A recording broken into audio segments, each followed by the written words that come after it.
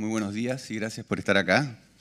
Eh, ustedes podrán adivinar por el título de, esta presentación de que hay una pequeña maldad en el sentido de que, hay una crítica ya implícita en el título cuando uno dice del hipercrítico al hiperventas.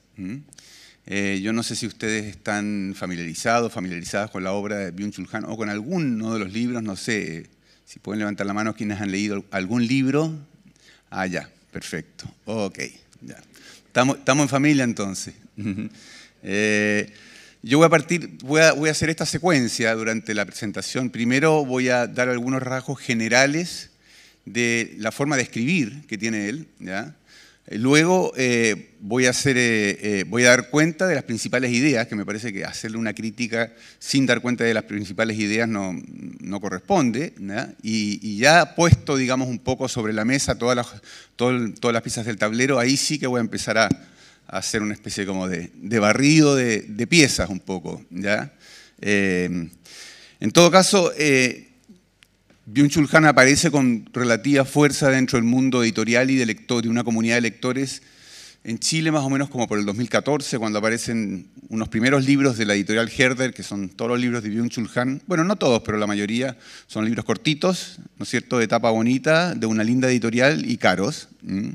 Eh, o sea, el precio por página es bastante alto. Y, el, em, y, aparece en La Sociedad de la Transparencia, La Sociedad del Cansancio, en El Enjambre como primeros libros, después empiezan a aparecer otros más. Se vuelve muy prolífero, además empieza a escribir y publicar entre uno o dos libros por año. Escribe, escribe bonito, eh, no cabe duda, tiene, tiene lindo estilo, eh, aunque lo leamos en una traducción. Eh, o será que el traductor es bueno, o la traductora, en formato más bien como de, cápsulas y de, ideas que reconocemos como propias. Entonces se produce una especie como de complicidad lector-autor en que el lector dice, ah, esto yo lo pensaba también, pero no, no tan bien formulado, ¿no? Y aquí lo encuentro como eh, realmente como de perilla la forma en que está formulado, eh, y tiene esa capacidad, ¿no? Como de de apelar a algo que está en el aire y que uno eh, lo tiene de manera difusa dentro y de repente lo, lo, reconoce de una manera diáfana, de una manera clara y bien expresada, y eso produce una, una, cierta satisfacción en la lectura. Incluso puede ser hasta una satisfacción un poco, un poco narcisista, como en la forma de, de apropiárselo. ¿ya?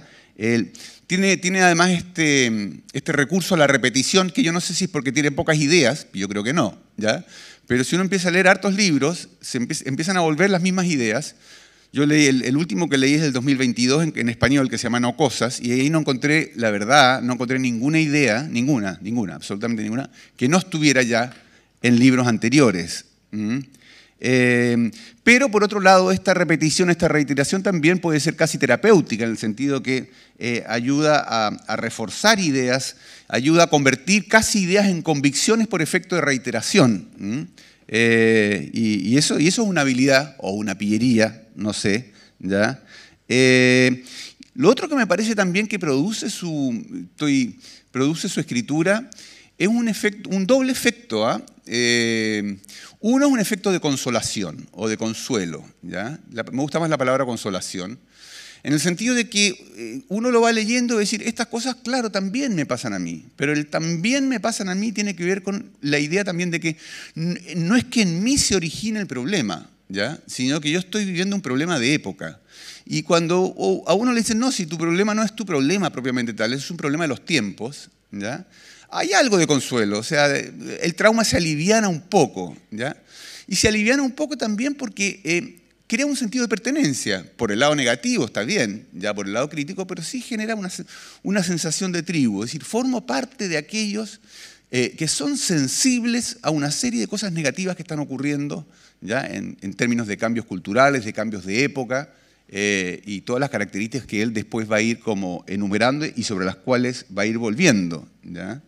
Eh, em, y, además como el, pensamiento crítico, o sea, una visión negativa de los hechos, de la realidad, eh, aunque nos falten, por supuesto, eh, factores de la realidad que inspiren una cierta negatividad, pero el pensamiento crítico también nos hace sentir un poco lúcidos, ¿ya? Como no nos compramos el paquete, Y, eso, eso también tiene un efecto positivo en la lectura, ¿ya? Por otro lado, eh, cuando llega la hora de ofrecer soluciones frente a esta radiografía crítica del mundo actual que estamos viviendo, el panóptico digital, de la psicopolítica, de la sociedad del cansancio, del exceso de transparencia, de la obligación a la felicidad, una serie de cosas que vamos a ver ahora, cuando llega la hora de dar las soluciones, Byung-Chul Han no, propone soluciones colectivas realmente, ¿ya? sino que eh, eh, es más bien una, es como, la idea es medio refugiarse en el propio jardín, ¿ya? irse al jardín, La Loa a la Tierra, es uno de los libros más o menos recientes, lo plantea, hay un libro muy, muy anterior de él, no malo, ¿ah? bastante bueno, creo yo, sobre budismo zen incluso, eh, pero la solución tiene que ver mucho con, con bajarse, con lo que Albert Hirschman llamaba el exit, el salirse de, ¿ya? Eh, el cultivar la demora en el tiempo, el cultivar un amor que mantenga el misterio, el ir al jardín y conectarse con la naturaleza. Eh, es decir, una serie de elementos que corren por cuenta del individuo. ¿ya? O sea, la sociedad nunca está en juego aquí como, como el lugar en el cual uno eh, se compromete a ciertas transformaciones. Esas son como unas primeras críticas. Después, ahora, al final van a venir unas críticas más violentas, ¿ya? Eh, estas son más bien suaves, al son soft, ¿ya? Eh, porque uno puede tener todos estos recursos, estos recursos editoriales casi, ¿ya? Y sin embargo tener buenas ideas. Y yo creo que él las tiene. Es decir, hay ideas de las cuales, por lo menos de las cuales yo a lo largo de las lecturas que he hecho, que creo que los he leído, no todos, pero sí casi todos, eh, tiene, buenas ideas, tiene muchos referentes, ya, eh, referentes filosóficos previos a él, a los cuales recurre, pero, y esta es una crítica habitual que se le hace, no los cita tanto como los usa. ¿ya? Eh, cita, bueno, cita Heidegger bastante, eh, a veces cita un poco a la Escuela de Frankfurt, a veces cita un poquito a Foucault, a veces cita un poquito a Baudrillard, que yo creo que debe ser uno de los precedentes que más usa. ¿ya? y em, y ahí hay, ahí hay, una cosa, o sea, hace un buen uso, ¿ya? pero no siempre citado, de Heidegger toma la crítica heideggeriana a, la inautenticidad, a la idea del olvido del ser, al mundo de la técnica y de la manipulación. ¿ya? En, su visión del tiempo hay mucho de, los griegos, hay mucho del budismo, ¿ya? esta idea de demorar, de perdurar, ¿ya? Eh, de recuperar el antiguo sentido de la palabra eh, perdida por las prisas y por la aceleración y por la manipulación.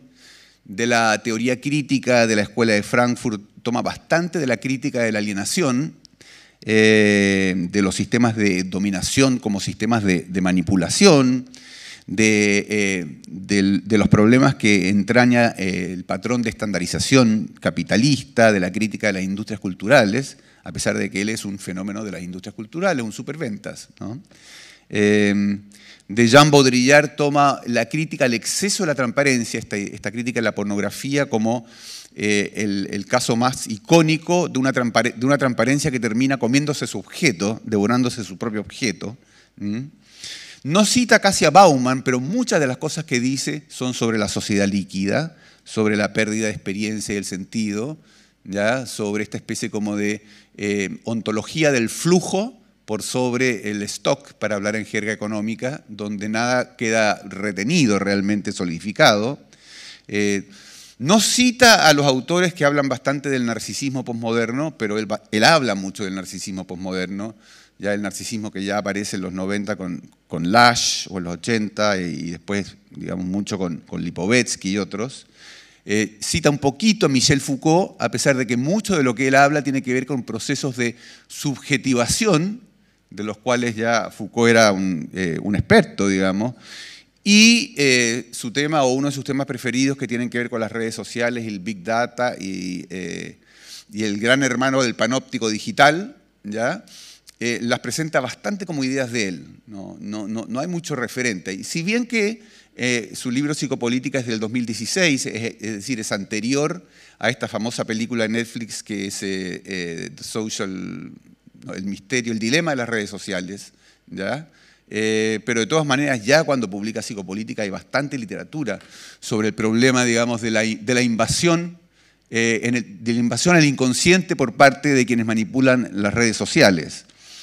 Eh, En sus libros, aquí pasa un poco revista los libros, en sus libros Psicopolítica y por un lado y La Sociedad de la Transparencia por el otro, eh, nos encontramos con un diagnóstico crítico de la sociedad hipercomunicativa.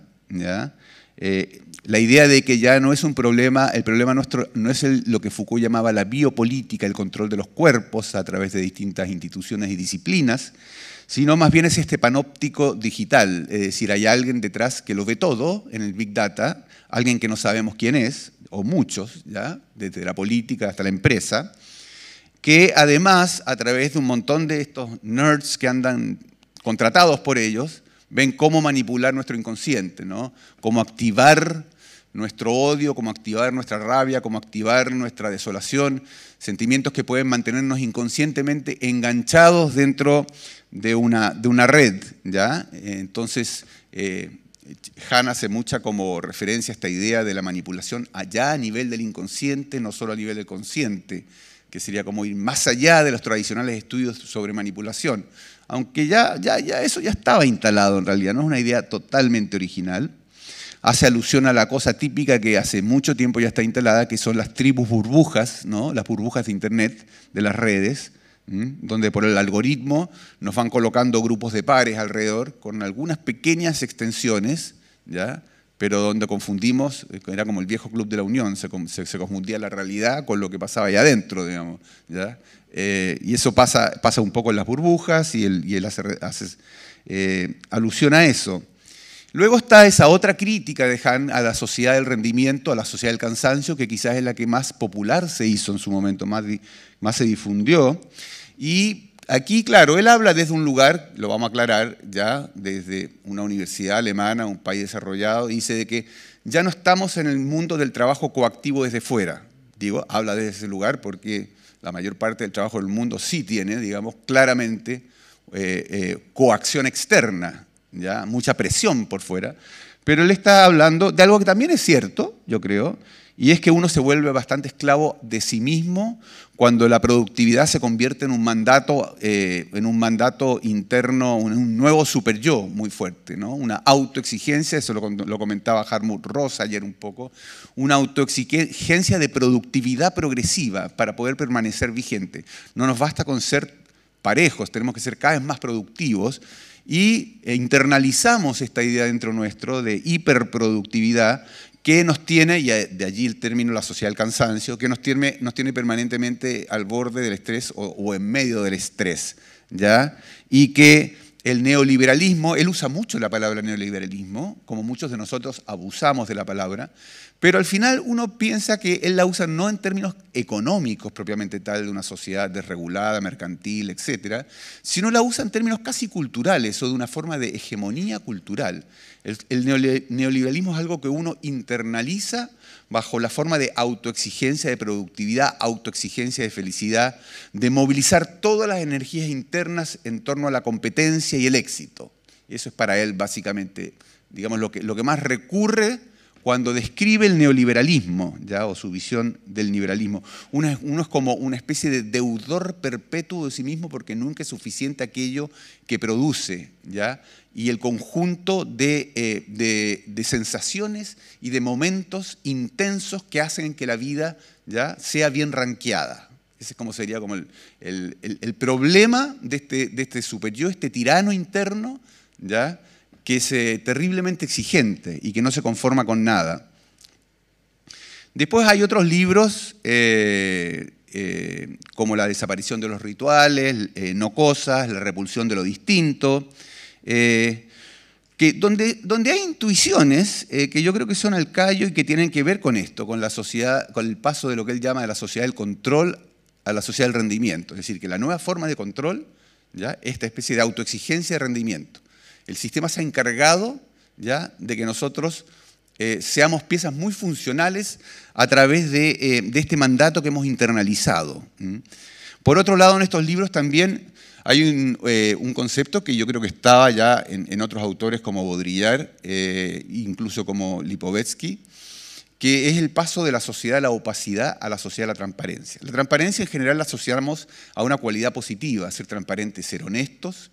La transparencia pública o política tiene que ver con la rendición de cuentas y la probidad de los funcionarios públicos, por ejemplo, frente o en contraste con esa opacidad propia de las distopías de estilo Orwell, ¿no?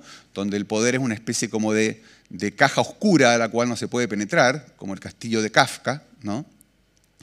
Pero aquí dice eh, Han que lo que tenemos es el caso contrario. Es, tenemos un exceso de transparencia. Un caso clarísimo, digamos, es el hecho de que todo lo que nosotros vamos volcando en las redes es información que prestamos hacia una especie de big data que no conocemos, pero que saben todo de nosotros. ¿ya? Que es suave, que es cool, que en general no nos sentimos manipulados por ella, pero ahí está. ¿No? Es decir, hay una, una sobretransparencia que termina siendo una posibilidad infinita de control.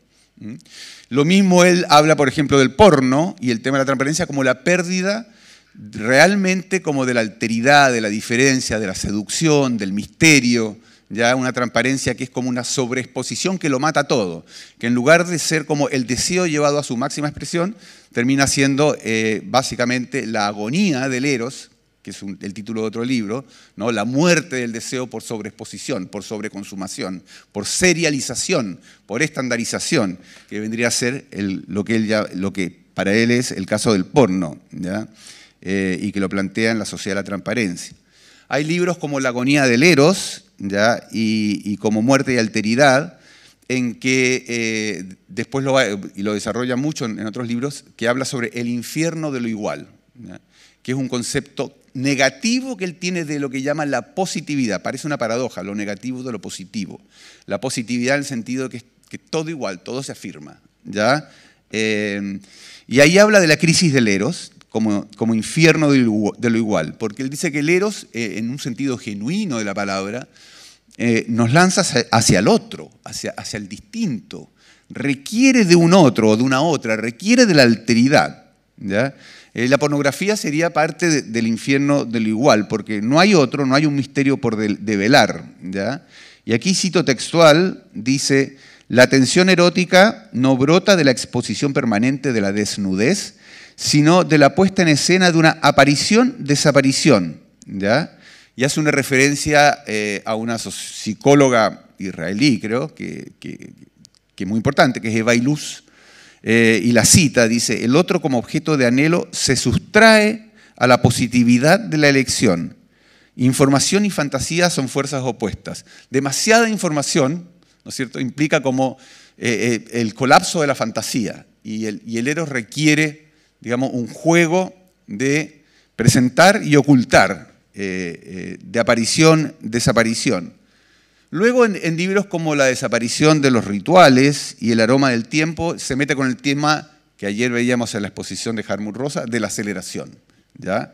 Eh, y, lo que plantea cuando dice que se han perdido los rituales que marcan, sobre todo estos rituales de pasada, de pasaje en la vida, ¿ya?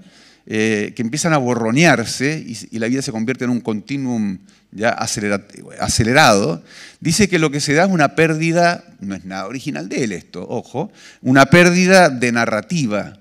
¿ya? O sea, se pierde, se pierde la idea de la vida como, como una narración que tiene una temporalidad que se va desplegando progresivamente, pero donde la pausa, la demora, también tiene que ver con aquello que permite consolidar el sentido, ¿ya? que permite como aconchar las cosas, ¿ya? y que eh, cuando, cuando, cuando se da esta especie de vorágine acelerada del tiempo, se pierde ese sentido de narrativa, ese sentido de despliegue, eh, desarrollo, ¿ya? Eh, lo que en inglés se, llama, se dice unfolding, ¿ya? un desenvolvimiento. y esto Han lo relaciona con, con nuestra crisis de sentido. Son, son ideas que son bastante sensatas dentro de todo, ¿no? Eh, o sea, uno las puede hacer propias, eh, que es la idea, además, de él. Luego eh, hay, dos o tres ideas que tienen que ver también con este, este, este nuevo tirano interno, ¿ya? Este, nuevo, este super yo colectivo, pero un super yo más, consciente quizás, no como un super yo inconsciente, que es, él habla del mandato de ser libre. ¿ya? Pero dice que es tan fuerte el mandato de ser libre, no es que él esté contra la libertad, para nada, pero es tan fuerte el mandato de ser libre en esta, en esta, eh, en esta nueva fase de la secularización de la cultura, que finalmente uno se siente obligado a ser libre y cae en una contradicción, obviamente. O sea, estar obligado a ser libre es una contradicción en sí misma. ¿ya? Eh, entonces, eh, el, mandato de ser libre es una condena a nunca serlo del todo. Que está bien, es una idea que hace, que hace sentido, ¿ya? Y por otro lado también habla sobre el problema del fracaso, o sea, una sociedad intolerante al fracaso, que lo han puesto muchos otros autores, como, como Richard Sennett, eh, eh, que la idea del fracaso es un doble fracaso. Primero porque nos va mal cuando fracasamos, y segundo porque el fracaso se convierte en un estigma, es decir, porque hay un juicio implícito de otros respecto de nuestro propio fracaso. ¿ya? Entonces es como que nos lloviera sobre mojado cuando, cuando fracasamos. ¿ya? Eh, hay una inadmisibilidad del fracaso que ejerce una, presión social muy fuerte. Incluso él dice, y cito textual, en La Sociedad del Cansancio, sobre el que se hizo un lindo documental de Corea, no de Alemania, ¿eh? curiosamente, dice la libertad del poder, del poder hacer, la libertad del poder hacer, genera incluso más coacciones que el disciplinario deber, contrastando épocas. ¿ya? El deber tiene un límite, el poder hacer no. La coacción que proviene del poder hacer es ilimitada. entonces, es tanto lo que podemos hacer, se nos abre un abanico, un repertorio tan grande de posibilidades de vida, diría él, ¿ya? que finalmente eso sumado al sentido de que no podemos perdernos nada o nada que consideremos valioso, nos coloca en el lugar como de una deuda permanente consigo, con, uno mismo. ¿ya? Como que hay, la lista de los pendientes solamente puede crecer exponencialmente en una situación así. Habla de, incluso del mandato a la felicidad. Hay un libro que la verdad que a mí me gustó, que se llama La Sociedad Paliativa, eh, esta idea de lo paliativo, como de la aversión al dolor, ¿no? A toda costa evitar el dolor, eh, que no está mal evitar el dolor cuando uno tiene una enfermedad crónica, ¿no es cierto?, con dolores agudos, por supuesto, pero él dice que esto se convierte más bien en una especie como de, eh, patos cultural, ¿ya? Este, el mandato a la felicidad y la aversión al dolor serían como dos caras, dos caras de la misma moneda, pero él dice que son inputs para la productividad, o sea que tiene algo de neoliberal esto, ¿ya? El, imperativo de ser feliz, dice, esconde una exigencia de rendimiento. Intenta evitar cualquier estado doloroso, ¿ya? Porque cualquier estado doloroso es una traba a la productividad, es un inconveniente. Entonces, eh, tenemos que de alguna manera estar en una especie de estado anestesiado respecto del dolor, y porque eh, eso nos permite un, dice, un capital emocional positivo. Y, ahí le hace toda una crítica a la psicología positiva, eh, como, una, cosa más New Age, dice él. Dice, la felicidad debe proporcionar una ininterrumpida capacidad de rendimiento. La automotivación y la autooptimización hacen que el dispositivo neoliberal de felicidad sea muy eficaz. Es decir, ahora la, competencia no es solo competencia cognitiva, sino que también es, la competencia emocional, eh, que hay que movilizar a toda la persona, ¿ya? Eh, no solo su capacidad productiva su capacidad racional, sino sus destrezas emocionales y su, alegría, su entusiasmo, ¿ya? para canalizarla en, productividad. Sería parte de la lógica de la empresa ¿ya? y de todos estos asesores de empresa que vienen, que vienen como a asesorar incluso en lo emocional a, los trabajadores, a las empleadas, a los empleados, eh, que, sientan que esto es casi un juego y no un trabajo, aunque sea 24 horas al día. Em, eh, y, en la misma línea eh, hace una crítica a esta exaltación de la autenticidad en la cultura actual. ¿no? Sé auténtico, sé tú mismo, ¿ya? afirma tu singularidad respecto a los demás. Pero dice eh, Han que esto se convierte en una dictadura de la autenticidad. Eh, dice, el imperativo, cito, de la autenticidad fuerza al yo a producirse a sí mismo.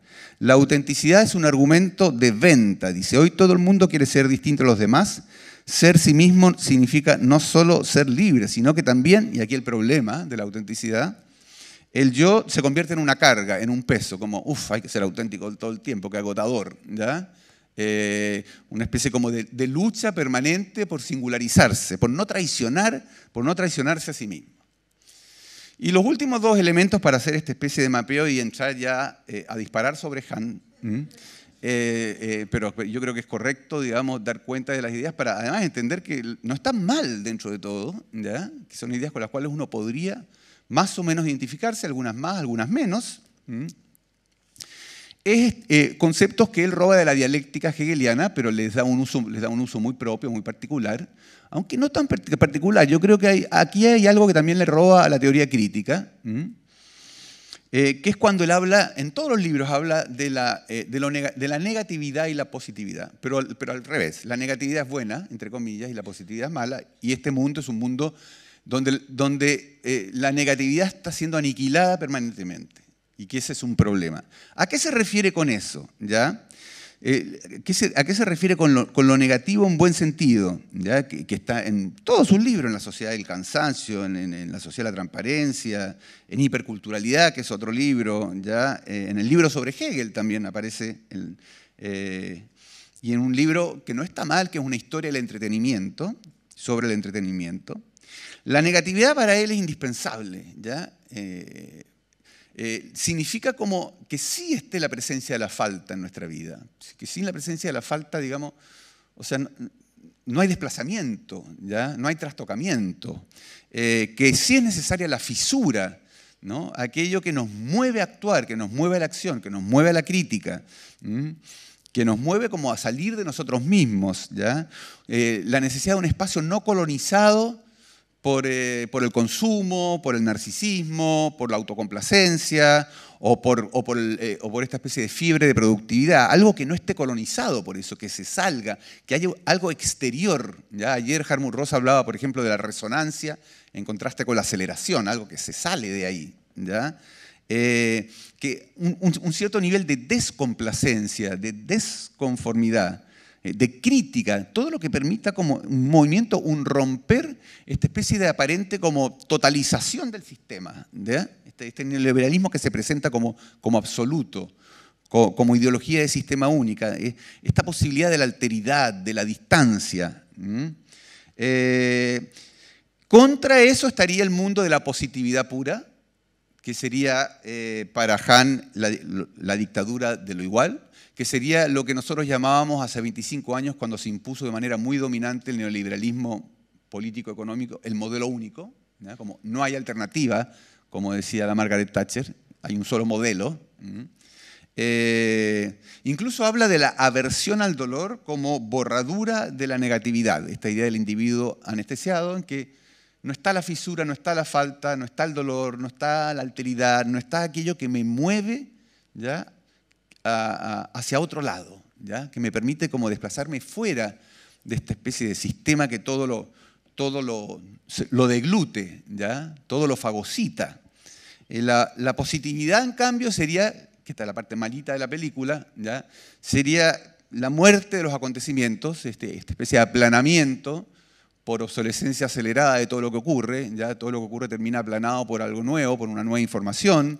Sería eh, este concepto de serialización, es decir, todo, todo entra dentro de una lógica industrial de reproducción, ya serializada, eh, sobre todo en el consumo, pero también en la comunicación, eh, donde realmente finalmente no hay distancias, ¿ya? No, donde no hay irrupción de algo porque no hay duración, como que se requiere una duración y un espacio vacío para que las cosas emergen. Pero cuando hay una saturación de información, una saturación de consumo, una saturación de aceleración, ¿ya? entonces no hay, no hay espacio para la emergencia, no hay espacio para la diferencia, diría yo. Lo mismo también la positividad estaría asociada a un tipo de narcisismo, a eh, esta especie de gestión del self, ¿no? el self-management, gestión del yo, pero un narcisismo eh, sobrecargado, exagerado, mórbido. Eh, donde el, exceso de sí mismo se convertiría en una suerte incluso de solipsismo, como imposibilidad de salir de sí mismo, ¿ya? una especie de encierro dentro de sí, ¿ya? Donde y él dice, bueno, que esto es caldo de cultivo para la depresión, de que hay como, como dos caras de la moneda que van juntas, que es un, exceso de narcisismo y un síndrome depresivo. ¿ya? Eh, esta, esta, idea de que no hay otro, que aparece, cito aquí el libro La expulsión de lo distinto, dice textual, los tiempos en los que existía el otro se han ido. El otro como misterio, el otro como seducción, el otro como eros, el otro como deseo, el otro como infierno, el otro como dolor van desapareciendo. Hoy la negatividad del otro deja paso a la positividad de lo igual. La proliferación de lo igual es lo que constituye las alteraciones patológicas de las que se está aquejado. Y por último, digamos, eh, en el libro del buen entretenimiento, que es un libro interesante porque hace una historia del entretenimiento. Entonces, hay, yo diría que hay una cierta erudición, hay un estudio, hay una investigación, pero que llega a los tiempos actuales en que él habla, eh, claro, la industria del ocio hoy día en, en, el mundo, desde hace bastante tiempo, la industria del entretenimiento es una de las industrias florecientes, más fuertes, más potentes en el mundo. ¿ya? ¿Por qué? Porque claramente hay una población con mayor capacidad adquisitiva eh, acumulada en el mundo, ¿ya? Eh, y, por efecto del envejecimiento hay muchos años post-trabajo en que la gente puede hacer otras cosas, en fin. Eh, pero dice de que el, entretenimiento se convierte en algo ubicuo, o sea, hay una especie como de que todo tiene que ser entretenido. ¿ya?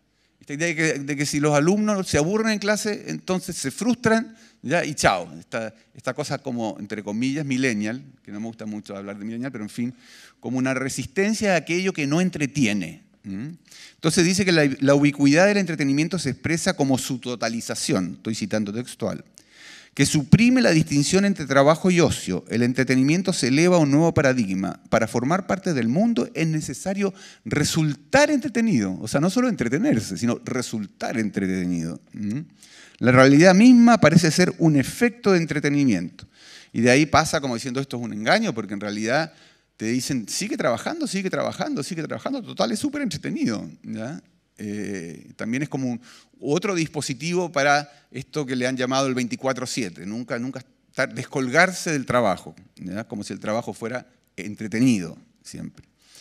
Ya, y bueno, ¿qué propone a cambio de toda esta especie como de tiranía de la positividad? ¿Qué es lo que propone a cambio? Y ahí hay un shopping list pero todo más o menos concurre en una opción individual de salirse de. En el aroma del tiempo, con un lindo libro.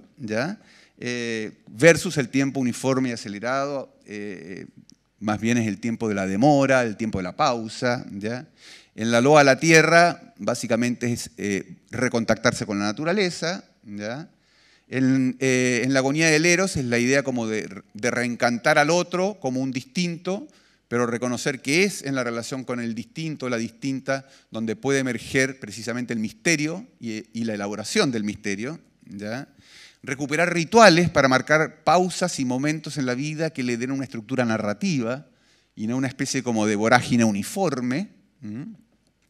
Eh, la ética de la escucha y del cuidado, que es algo de lo que se habla bastante. Eh, el espacio para el vacío, ahí viene su, su raigambre zen, un poco también, ¿ya? Pero todas son, y aquí empiezo las críticas, todas son salidas personales. Es decir, la sociedad a la hora de hacer una transformación no existe, ¿ya? Como primera cosa, como primera, como primera crítica. La segunda es que son todas salidas de gente que podría disponer de la posibilidad de hacerlo, de tener el tiempo, tener un jardincito, en fin, ¿ya? Eh, y, además eh, es como, como, que eh, la productividad fuese solamente una autoexigencia interna, ¿no? Ya no hubiera nadie afuera que nos obligara, cuando la mayor parte del trabajo en el mundo es un trabajo explotado, sigue siéndolo, es un trabajo precario, es un trabajo, digamos, de exigencias cada vez más crecientes en empresas donde los objetivos y logros año a año crecen y crecen y crecen, ¿ya? Y entonces obligan a la gente desde afuera hacia adentro, no solo desde adentro hacia afuera, a trabajar más y eso como que no existiera en Han, ¿ya? O sea, las relaciones realmente duras entre capital y trabajo, que ahí están, es como que, como que desaparecen, ¿ya? Eh, porque al final no todo es subjetivación, no todo es un problema de acá adentro. Hay muchos problemas allá afuera, ¿no es cierto?, que nos, que nos comprimen objetivamente. Entonces, da la sensación que un poco escribe desde un cierto lugar y para un cierto lugar, pero no, no sé hasta dónde esto se puede generalizar. O sea, no, no, podemos negar que algo internalizamos como, como tirano de la productividad y de querer llevar nuestra vida al máximo posible, digamos, de, intensidades vitales. Pero, pero hay mucho afuera ahí también que nos compele, que nos, que nos fuerza. ¿ya? Después eh, hay, hay, otro elemento de crítica, ¿ya? y esta, ahí viene lo del superventas que está en el título, que es la idea, digamos, de... Él, él tiene un formato comercial. O sea, él descubrió una formulita, libro cortito, ideas repetidas, bien escritas, muy buenas cursivas y muy buenas comillas. ¿ya? Lo hace súper bien. ¿Ya? Cuando llega el momento como del tac, del remache, del corolario, ¿ya? de la frase para el bronce. Y, y, como que lo, descubrió que lo hacía bien. Se le nota que descubrió que lo hacía bien, entonces tiene 15 libros que siguen, eh, que siguen como la misma pauta, ¿ya? y se ha convertido en aquello que eh, él critica muchísimo en los libros, ¿ya? que es el que, viene es una crítica que viene desde la teoría crítica de la Escuela de Frankfurt, que es el tema de la, industria, la lógica de las industrias culturales. Él se ha convertido en una industria, ¿ya? precisamente eh, eh, en, un éxito editorial que él mismo explota, trabaja bien, ¿ya? Eh, porque yo creo que no es tonto. ¿ya? Su misma como pinta como es cool, ¿ya? pero a la vez es crítico, tiene esta cosa de cool y crítico, entonces una buena combina. ¿ya? puede, eh, es, un crítico desde la subjetividad con una cosa muy impresionista, más que no, no, no, no hace argumentación, sino que tira como unos brochazos. ¿Ya? Es difícil encontrar en él como la fundamentación de una idea o el desarrollo de una idea. Son los brochazos. Pero eh, es como lo suficientemente, como yo diría, lúcido y crítico y no complaciente como para no parecer New Age, que no creo que sea New Age. Em, por otro lado, eh, yo creo que otro elemento que se le podría criticar el que tanto critica la positividad, el infierno de lo igual, pero él es pura positividad, o sea, los libros son todos iguales. Son las mismas ideas que se dan vueltas. Entonces, ¿dónde Han crea una fisura respecto del propio Han? O sea, yo no la encontré nunca. Yo creo que ahí, ahí también eh, hay un problema. Luego, eh, en términos de propuesta política, o sea, como una propuesta o una propuesta en general, más desde lo social, lo colectivo, frente a este mundo sin fisuras, ahogado de positividad que él denuncia permanentemente, eh, yo creo que su respuesta tiene algo de conservadora. También yo no estoy en contra para nada de la contemplación, la demora, el contacto con la naturaleza, pero, hay una cosa como conservadora, una, añoranza por los rituales perdidos, ¿ya? Eh, una nostalgia por un mundo ritualizado, eh, una apelación a la, tradición eh, para oponerla a los valores de la sociedad del rendimiento hipercomunicacional, etc. Entonces, no es que sea nostálgico propiamente tal, ¿ya? Pero uno podría decir que en esta lógica binaria, donde por un lado está el bien y por otro lado está el mal, el bien siempre está como para atrás. Es algo como que se perdió y que hay que recuperar. Eh, entonces, yo encuentro que le falta un poquito de, como de atreverse a mirar hacia adelante, hacia el futuro. Tiene muy poca sensibilidad, a mi juicio, por lo menos de lo que se deduce de la lectura de sus libros, de temas que tienen que ver con el conflicto político duro, que hoy día es, es insoslayable, del conflicto ideológico, ¿Mm? Eh, no hace mucha referencia a los grandes riesgos globales que hoy nos acosan, un poco al tema de la ecología, pero poco, no mucho tampoco, ¿Mm? pero los grandes temas globales que tienen que ver con, bueno, con las amenazas nucleares, que tienen que ver con el envejecimiento, que tienen que ver con las migraciones, que tienen que ver, claro, con el calentamiento global, que tienen que ver con eh, las pandemias, en fin. Eh, Riesgos globales no se ve mucho dentro de su obra tampoco, por no decir que no se ve prácticamente nada. Muy poco o nada de referencia a la desigualdad, a la desigualdad de clases sociales, al problema de la exclusión masiva. ¿ya? Eh, realmente es, poco lo que se ve ¿ya? de eso. Y em, yo diría también que eh, hay un escaso reconocimiento eh, al potencial emancipatorio, libertario, positivo que pueda tener el desarrollo científico-técnico. El uso de redes, ¿ya? Es como que no hay nada bueno en eso. Eh, como si no hubieran dimensiones auspiciosas, más allá de lo que para él es la autoesclavitud del rendimiento, más allá de lo que es la transparencia en mal sentido, ¿ya? Eh, no, se plantea, eh, no se plantea la reutilización o el repensar la técnica y la ciencia y el progreso y el desarrollo como alternativas hacia adelante, alternativas positivas. Incluso hay una valoración negativa de la diversidad cultural, que le llama el multiculturalismo, la hiperculturalidad, que también la mete en el saco de lo igual. Es decir, no reconoce en un mundo cada vez más diverso en lo cultural la posibilidad de que eso signifique un desplazamiento en las perspectivas, un diálogo entre distintos, sino que considera que todo entra en una especie como de centrifugado, como el melting pot un poco, un, centrifugado aplanador, en que la lógica multicultural es como una lógica estandarizada finalmente. Entonces no, da espacio para pensar eh, la alteridad cultural hoy día, la diversidad cultural, el conflicto cultural, en términos creativos, en términos, en términos emancipatorios incluso. Y claro, nunca, nunca se lo escucha dudar de lo que dicen, ¿ya? Está, está siempre muy, muy, muy taxativo, muy convencido. Y voy a terminar esta, esta presentación en esta parte crítica final, que no pretendo que sea demoledora, ¿ya? pero yo creo que es poner a Han contra el propio Han un poco. ¿ya? En esto del exceso de positividad, de que él mismo es un éxito editorial, ya es parte de la industria. Eh, y es una cita de un libro que salió en Argentina, que ahí sí lo hicieron pebre. Lo hicieron pebre, el libro se llama ¿Por qué? Pregunta, un no entre paréntesis, leer a Byung-Chul Han. Y hay una serie de artículos y hay una introducción hecha por un filósofo, un filósofo que en Argentina es bien conocido y polémico, que es Ricardo Foster, porque fue una especie de comisario ideológico en el gobierno de Cristina, pero, pero un tipo que sabe. ¿ah? Eh, y em, y Foster en su introducción dice, con esto termino, ¿ya?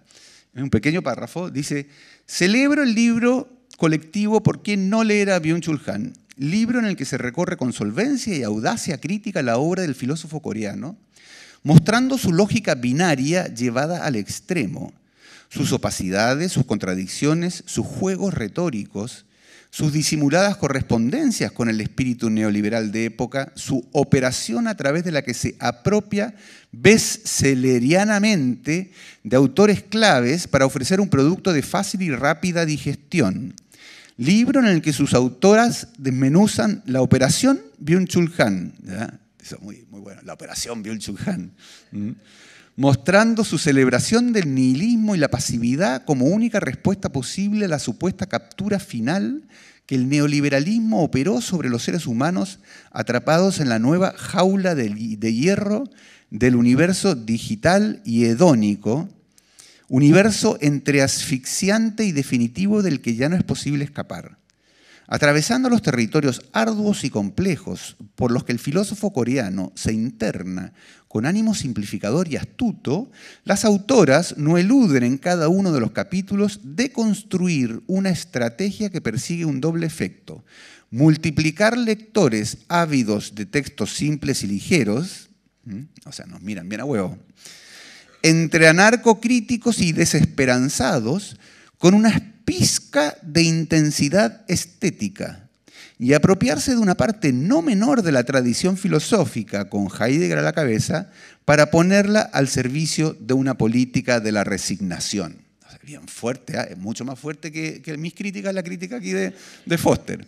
Bueno, agradezco mucho la atención y estamos abiertos entonces a preguntas y comentarios. Gracias.